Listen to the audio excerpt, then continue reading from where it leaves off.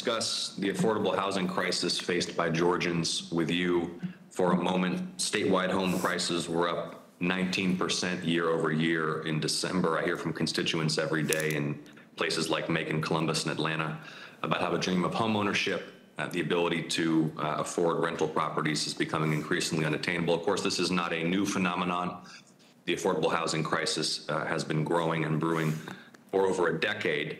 First question for you, please, Ms. Rouse, is will you commit to uh, joining for a call or meeting with me, with Macon Bibb Mayor Lester Miller, and Columbus Mayor Skip Henderson, and Atlanta Mayor Andre Dickens to discuss how the White House can help support our efforts in Georgia to increase the supply of affordable housing?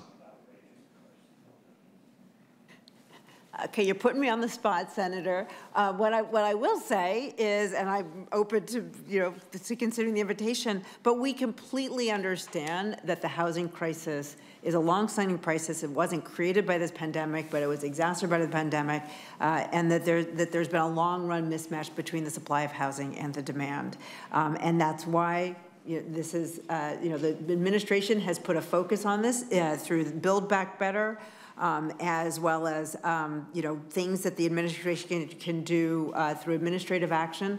Uh, there was a discussion of um, tax credits and other and other supports, um, zone, zoning and land use. So we understand the very importance of housing. We need to solve this problem. It's it's not unrelated to the discussion of inflation, um, and we need more affordable housing.